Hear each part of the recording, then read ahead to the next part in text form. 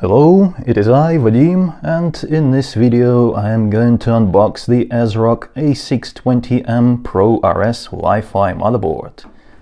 We'll have a look at uh, what kind of accessories come with it in the box, and then I'll walk you through all of its features and specifications.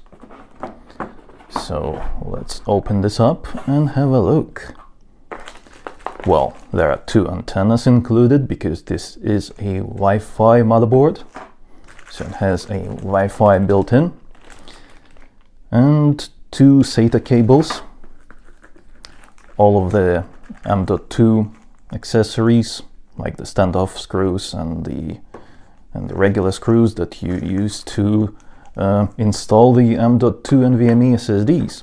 Of course, user manual that explains everything you, need to know about the motherboard and its features, and different slots and whatnot.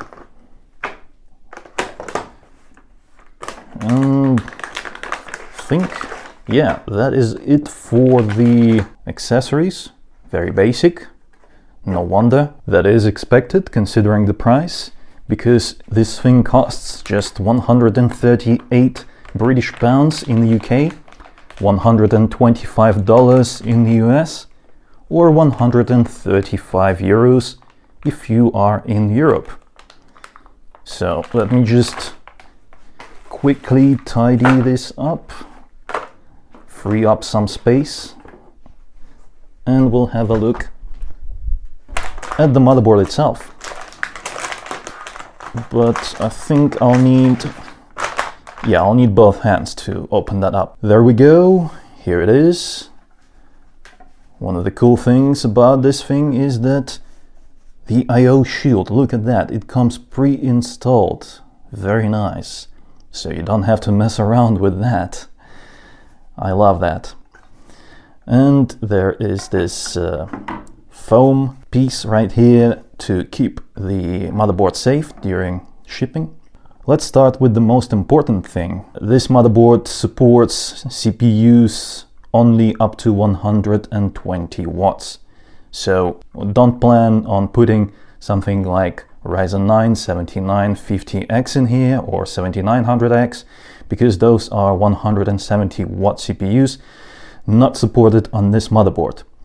But everything else below that, something like uh, even Ryzen 9 7950X3D, that is 120 watts and it can easily handle that. No problems whatsoever. But look at that. This is a 6 plus 2 plus 1 power phase design and check it out. It even comes with heatsinks on both on both uh, VRM strips. So there's a little heatsink for the for the VRMs at the top and uh, check it out. This is actually quite beefy for a budget motherboard. This heatsink is quite thick. Check it out. Yeah, very nice, very nice indeed. let's have a look at the I.O what kind of connections we have here. Well, of course, we get the Wi-Fi 6E, BIOS flash for updating BIOS convenience, and HDMI display port 1, 2, 3, 4, 5, 6, 7. That's 7 Type A USB ports and 1 Type C USB port. And this is uh, a 1 gigabit uh, LAN port. When it comes to audio connections, it's just the standard ones.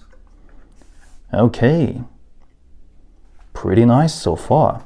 In terms of storage, you get four SATA ports, two over here, and two more over here. If you want to connect your M.2 and NVMe SSDs, then make sure to use uh, this slot first. This is a Gen 4 with a nice little heatsink. Well, it's not that little, it's quite thick actually. Check it out.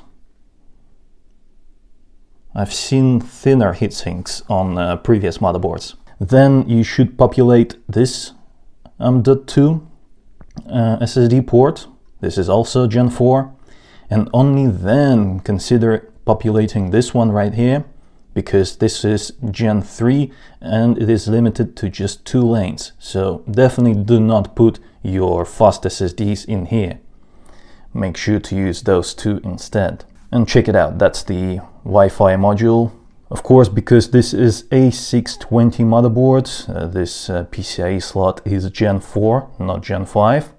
But uh, yeah, it's not gonna be a problem anytime soon, so don't worry about that. Many, many more future generations of graphics cards will work just fine with this motherboard. No worries. This USB connector for the front panel is a 5 gigabit one, so it's not the fastest. It's not one of those 20 gigabit per second ones, but it's still cool. For memory expansion, you get four DDR5 slots, and uh, the slots open up from one side only, so this, uh, this side is uh, solid. How many fan connectors do you think we have here? One for the CPU, and I see two, three, four, five. Yeah, five fan connectors, that is quite decent actually.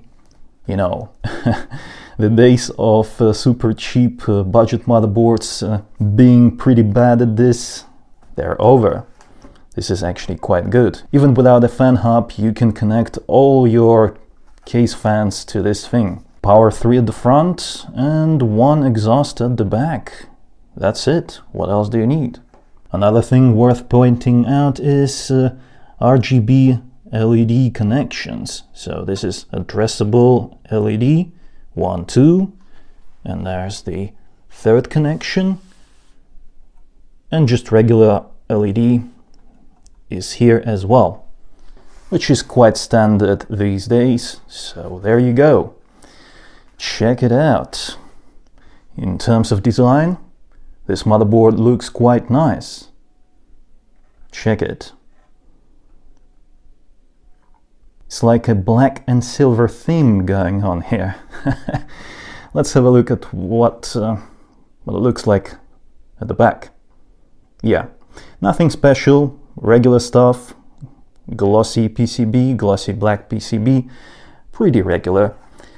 But what do you expect for 100 plus dollars? I really like the size of these uh, VRM heatsinks. Just check it out yeah, this is quite good. I'm very pleased with this motherboard. And yeah, let me know what do you think in the comments below. Use the links in the description below if you want to get one for yourself. You can do that from basically any country where you have Amazon. Just click the link and it will take you to your local Amazon store. Leave a like if you enjoyed this video and subscribe for more if you haven't already. It was I, Vadim. Until next time.